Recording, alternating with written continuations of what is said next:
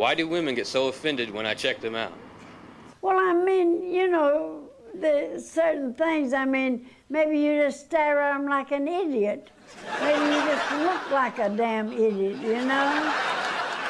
I mean, that, there's all kinds of ways to look at people. So you must do it in a very obnoxious way. Hi, I'm Brian from Akron, Ohio. I've gone out with this great girl a few times, and I know she's into me. I just don't know how to make the first move. Any pointers? Run your hand up under her dress. That's one good way. Run it all the way up there. If you can't get through the bottom, then come down through the top and get her dress. Do something. Just don't lie there. You can do something.